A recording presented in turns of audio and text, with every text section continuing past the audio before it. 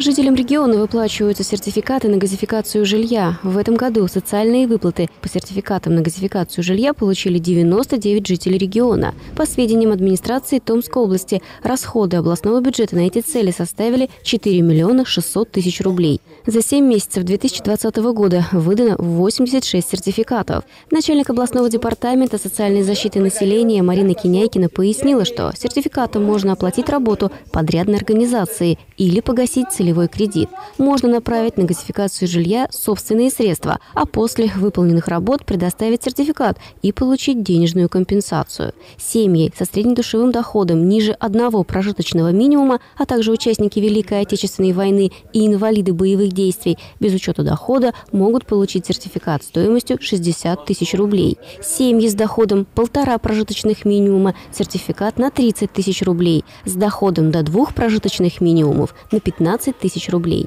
Сертификаты на газификацию жилья выдают территориальном отделе многофункционального центра «Мои документы», единовременную денежную компенсацию в Центре социальной поддержки по месту жительства.